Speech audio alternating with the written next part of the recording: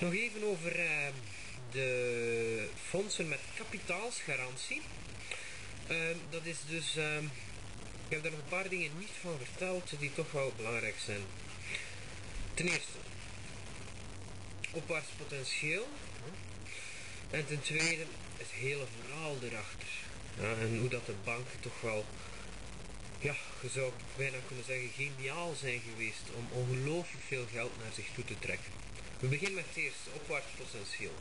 Als ik 90% terugkrijg ja, van het fonds met kapitaalsgarantie, en dat wil zeggen eigenlijk mijn opwaarts potentieel, als ik dat niet doe en ik laat dat daarin zitten, ja, dan kan dat terug stijgen naar 100%. Ja. Maar de termijn van die, van die obligaties, ja, dat is altijd een paar jaar. Dus er is er een dat volgend jaar afloopt. Maar als je zo'n portefeuille hebt, dan steken er ook in die pas in 2011, 2012, 2013 aflopen. Ja. Maar op het moment dat die dan afloopt, krijg je gegarandeerd 100% van je kapitaal terug. En als de aandelenmarkt terug zou herstellen, misschien dat ze dan met die opties ook nog iets verdienen. Ja? Maar dat weten we niet. En meestal is er dan ook wel een kap daarin. Hè? Ik weet niet hoeveel dat is, misschien is het 5% of 8% dat je dan kunt verdienen nog extra. In het beste geval. Dus in het beste geval kun je waarschijnlijk iets van een zeker 10% uh, en misschien zelfs 18% aan verdienen als je die obligaties uitzet. Ja? als je die, dus die fonds met kapitaalsgarantie uitzet. Dat is je opwaarts potentieel. En natuurlijk, wat is het gevaar als je niet dat geld gaat ophalen en als je dus inderdaad dat uitzet? Wel, als de bank failliet gaat, um, dan zet je je geld kwijt. Hè? Dus uw kapitaalsgarantie is gegarandeerd door de bank. Hè? en niet door uh, iemand anders. Dus dat is uw uh, neerwaarts potentieel is dat je dus alles kwijt bent. Dus al die fondsen met zogezegde kapitaalsgarantie, die zijn nul waard als de bank failliet gaat. Moest vorig jaar de overheid niet tussen zijn gekomen en geen geld gegeven hebben, dan waren dus niet alleen de spaarders al hun geld kwijt. En niet alleen de aandeelhouders van de banken. Hè? Um, en ook niet de obligatiehouders alleen. Nee, nee, nee. Dat waren ook alle mensen die fondsen hadden met kapitaalsgarantie, al dat geld kwijt. Dat is hetgeen dat vorig jaar bijna gebeurd was. Dus voilà, zo dicht staat het erbij om daar al uw geld te verliezen. Uh, dus ik kan alleen maar elkeen aanraden van als je een beetje kapitaal wilt overhouden na deze zware winter, dan uh, halen dat eruit. Goed, uh, maar eigenlijk, die, die, die fondsen met kapitaalsgarantie, dat is geniaal gevonden van die banken. Want vroeger was het zo dat mensen dus fondsen kochten. Ja? En ze kochten aandelenfondsen of ze kochten obligatiefondsen. Ja? Uh, maar ja, aandelenfondsen. Een bank, ja, die verdient daar wel aan, want ze hadden natuurlijk al allemaal hè, eh, hun eigen fondsen opgericht. Hè, en die fondsen eigenlijk vraagt bijna geen beheer. Dus ze vragen wel beheerskosten, zo, een procent per jaar en zo. Dus dat was al eigenlijk een heel interessante business. Ja. Uh, maar uh, toch nog niet interessant genoeg, precies, want ze zijn nog een stapje verder gegaan. En ze hebben het geniaal plan bedacht van die, die fondsen op te richten met kapitaalsgarantie. Want wat is het probleem van de normale fondsen? Oké, een aandelenfonds, je kunt daar wel een procent op verdienen per jaar, maar uiteindelijk gaat al dat geld naar aandelen van bedrijven. Ja? En zelfs de obligatiefondsen dat ze verkochten, nou waar gaat al dat geld? Ja, dat gaat allemaal naar obligaties, ook van andere bedrijven, ja? of van overheden. Ja? Um, maar naar waar gaat al het geld? bij een fonds met kapitaalsgarantie. Dat gaat allemaal naar de banken, hun eigen zak. Ja? Want die 80% obligaties die erin zitten, dat gaat allemaal naar financiële instellingen. En om u een idee te geven wat soort financiële instellingen dat erin zitten. Ik heb hier een mooie lijst voor mij. Ja? En dat zijn een paar bladen achter elkaar. En elk blad is een blad dat toont wat het erin zit aan obligaties per fonds. Dus het eerste fonds is bijvoorbeeld World Sustainables 7. Ja? Tweede fonds is World Selection 5. Derde fonds is World Selection 11. World Jumpers 1. European Lookback 5. Equiselect Asia 2. Equiselect Asia 3. New Multinationals 2. Ja, dus dat zijn allemaal zogezegd fondsen die dus speculeren. De ene in Azië, de andere op multinationals, dan een op buybacks. Buybacks wil gewoon zeggen bedrijven die uh, een eigen aandelen kopen met regelmaat. Ja. Dat is ook een grappige, want dat vond ik echt wel een goeie.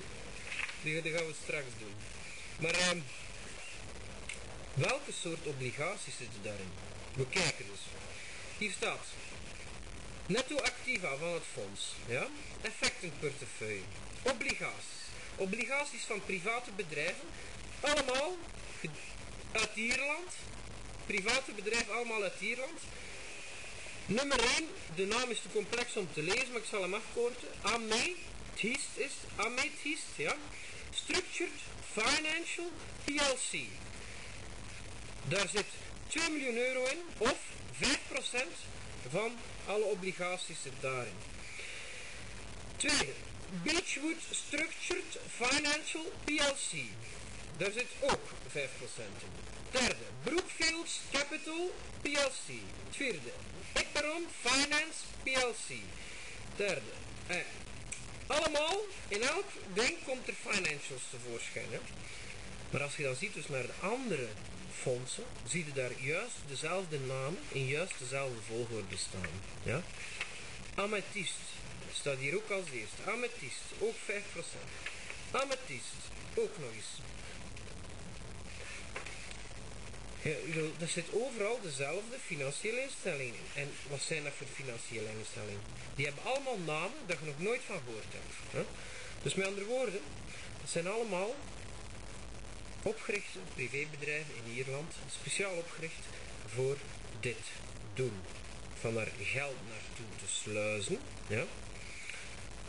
En dat wil dus zeggen dat die banken dus enorm veel kapitaal hebben doen, niet meer doen stromen naar de bedrijven op de beurs of naar obligaties van die bedrijven op de beurs of van obligaties van de overheid. Nee, nee, allemaal naar obligaties van hunzelf. En dus, zij kregen keihard kapitaal binnen, ja, en met dat kapitaal kon ze waarschijnlijk spelen, hè, um, en dus nog meer geld verdienen. Dat zit er dus achter. En uh, ja, voilà. Dat is dus het verhaal. Nu, uh, bijvoorbeeld het fonds, ja. Uh, welke, ik wou er nog één fonds uithalen en dat was, uh, dat was nog een, goeie. Dat was um, het fonds, dat ging over uh, buybacks. Dat was echt een goeie. Dus fondsen hebben ze dan gebouwd en dat zijn buyback fondsen. Ik kan het niet direct terugvinden, maar allez, overal zit dat dus vol met financiële instellingen. In elk, elk, elk ding. Dat is niet te geloven. Bijvoorbeeld, allez, dat is hier, dat is, dat is niet met kapitaalsgrens, dat is een andere. Maar dat is dus dat noemt bonds emerging markets. Dat zijn dus obligaties van emerging markets. Hè? En wat zit daarin? Fortis Bank, France Telecom, GE Capital, European Funding, Gas Capital, General Electric Capital, Glencore Finance, Goldman Sachs Group, HBOS, HSBC Bank, ING Bank, JP Morgan Chase, KBC IFIMA, KBC Fin, Lafarge, Merrill Lynch. Allemaal financiële zijn. Maar wat staat er allemaal achter? EMTN. EMTN. Overal staat er EMTN achter. wat dat waarschijnlijk een korting is voor emerging markets. Dus het bonds emerging markets. Je moet niet pijzen dat er bonds in zitten van bedrijven ja, van emerging markets. Nee, nee. Het zit vol met bonds van financiële instellingen die dan hopelijk bonds hebben van emerging markets. Kwestie van er nog eens een laagje tussen te steken. Hè? En zo kopen die gewoon allemaal elkaars producten. Hm? En houden die elkaar goed rijk. Ja. Goed, dat was dus nog een beetje achtergrond over eh, fondsen met kapitaalsgarantie. U bent gewaarschuwd.